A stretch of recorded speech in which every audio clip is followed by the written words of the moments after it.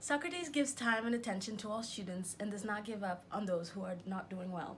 The way Socrates explains the course con content is very effective. He and he incorpor incorporates real life scenarios and engages students to give their own input of marketing related concepts. Socrates goes above and beyond to ensure all students grasp the concept of marketing. He values that everyone has a different learning style and caters to their needs.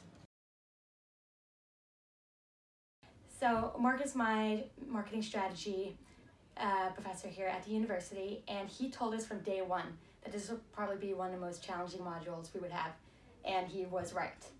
But he didn't sugarcoat anything when we came into the classroom, and ever since we came into our class, he's helped us every step along the way. He uses fun examples during his class, and no class is ever the same.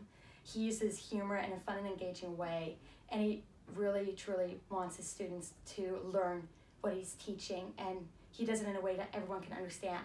And that's why I think he deserves this award above anyone else.